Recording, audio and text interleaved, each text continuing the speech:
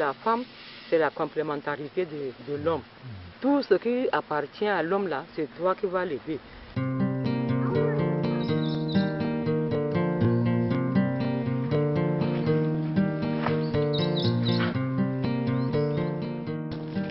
Ici, c'est- deux hectares. Ah, et il y a encore un hectare quelque part là-bas.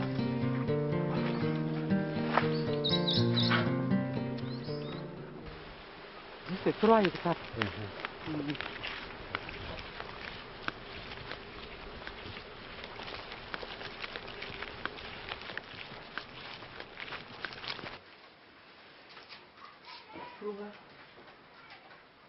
Le tout, c'était c'est c'est huit sacs.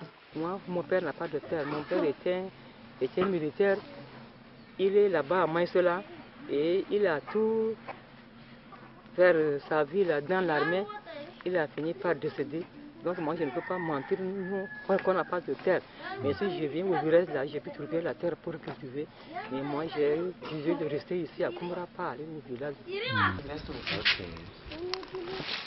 Cerveau bien blanc comme ça. Ah ouais, ça c'est bien.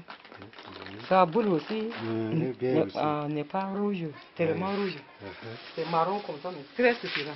Si une femme a une terre qui lui appartient, elle peut labourer et puis trouver de quoi manger.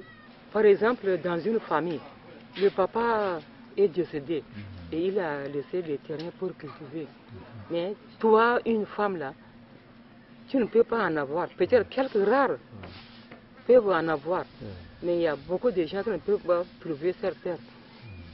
Les garçons occupent tout ça. Mais toi, la femme, là, c'est impossible pour toi. Dans certaines familles, là, c'est beaucoup difficile. Mais il faut toujours travailler pour avoir euh, de la nourriture. Si vous êtes découragé, là, qui va venir en aide pour aider vos enfants et puis vos petits-fils, J'ai envisagé l'avenir, pas le présent, pour nos jeunes qui veulent aussi travailler de la terre, là. Si nous, étant que nous sommes déjà des vieilles femmes, des adultes, si on n'a pas pu faire ça, que feront nos fils de demain? C'est pourquoi on a envisagé travailler la terre pour que les enfants eux-mêmes mangent avec nous. Et si nous sommes disparus là, ils vont prendre le relais pour travailler de la terre.